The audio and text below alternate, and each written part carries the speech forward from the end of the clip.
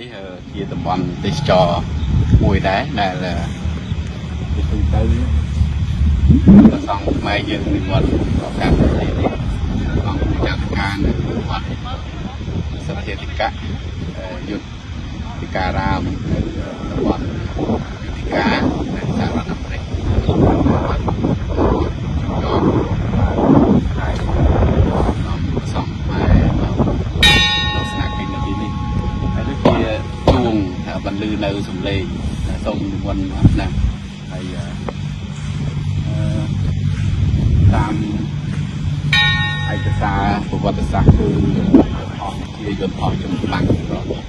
សម្រាប់ទាំងខ្មែរពេលមានសង្គ្រាមអីគេហៅថាប្រភេទ02 25ហើយនឹងយន្តហោះมั